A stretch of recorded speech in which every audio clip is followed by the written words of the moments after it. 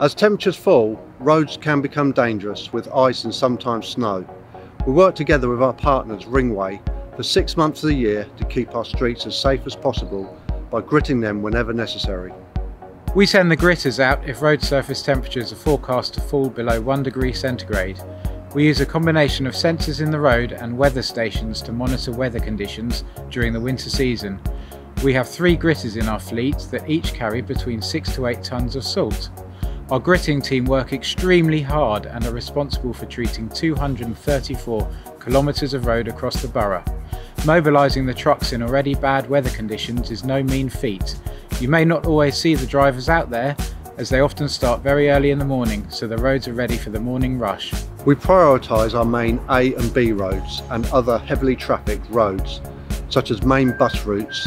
That's around 41% of the total network.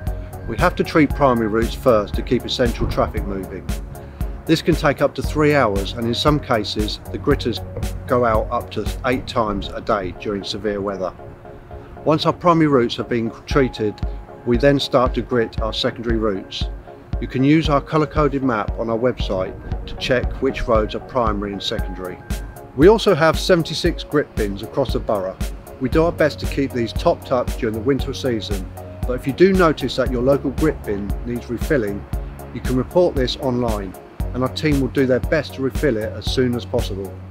We sometimes get asked by residents to treat a road that's not listed on the routes.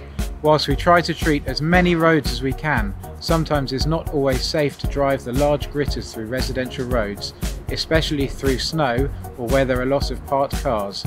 We know many of you help your family, friends and neighbours when icy weather approaches and by doing so this really helps us.